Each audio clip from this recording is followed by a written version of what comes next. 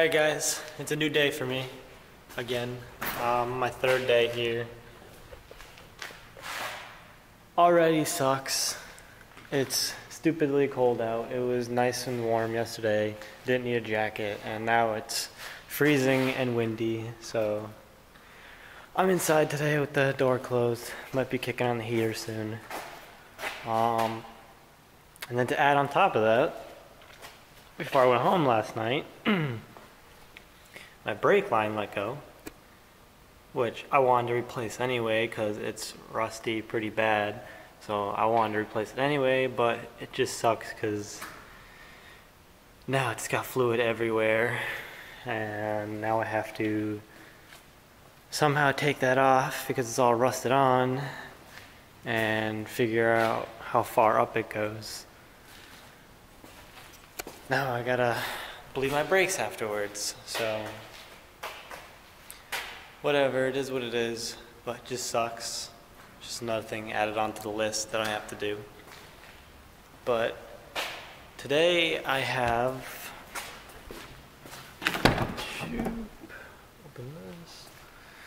Today I brought the cleaning supplies. Here is the POR 15 degreaser. So I can go ahead and start degreasing everything. Just brought some rags to wipe shit down. But there's the POR 15 degreaser. And I also brought, I don't know how long that stuff takes to dry, but I also bought the, the metal prep. Also by POR 15. This is their metal prep that they have. Um, so yeah, I went ahead and got both of those all set and ready to go. And I went ahead and bought some paint brushes too. So that way when I do go ahead and start putting the POR 15 on, the rust prevention, it'll be good to go. But look at this brake fluid got everywhere. It just really sucks. I did all that cleaning yesterday and then that line blows and now I got brake fluid everywhere. And as you can see, there's a huge puddle of brake fluid and a little trail coming from where it was parked over here. Honestly, I didn't feel like pushing it. So yeah, that's my work for today. I need to go ahead and I need to take that brake line off, get it out of the way. Um, I'm gonna have to go ahead and order a new one, but for now, I'm, I'm not really driving this. I honestly don't care. I don't need it right away, but I'm gonna go ahead and take the whole brake line down, figure out how that comes out, then uh, go ahead and start. I'm gonna have to get all this brake fluid off of everywhere. Uh, now once that's all off, I'm gonna go ahead and start wiping the whole thing down with that degreaser, and uh, I'm not sure how long it takes to dry. I'm gonna have to read up on that. And once that's all dried, I might leave, come back, do the metal prep, and like I said, I don't know how long it takes to dry. If it doesn't take long, then I might even start putting the, the rust prevention on tonight. Uh, at least do the first coat. Um, if it needs at least like a day to cure or something, then I'm just gonna have to wait till tomorrow and come back to it to put that stuff on. Well, this should be fun. Alright, so this is where I am so far. Um, pretty much have the brake line out. Can't really see from this side. Let's go over here.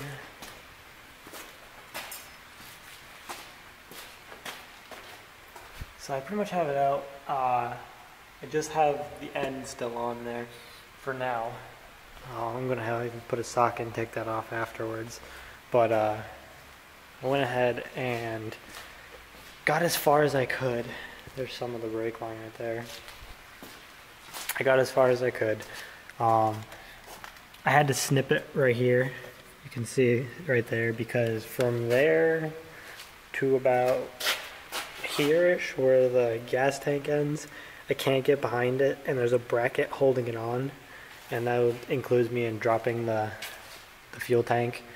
But uh, when I get my uh, my new fuel, uh, my new brake line in tomorrow, um, I'll see if I can route it a different way. If I can, then I don't need to drop the fuel tank. So we'll see how that goes tomorrow. But I cut it from there and I cut it from there. So this is all out.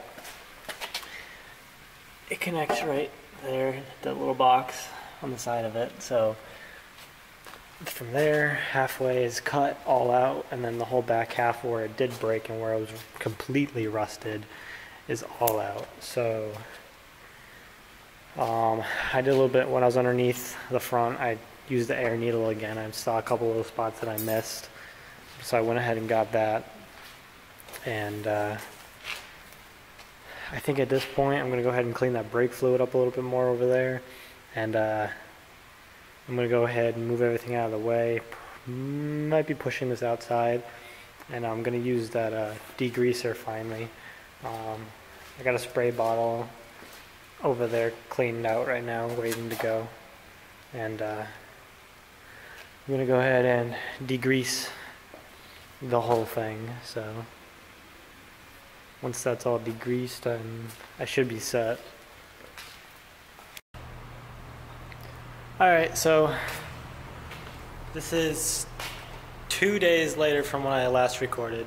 Um, yesterday, I just focused on getting my brake line out and all set.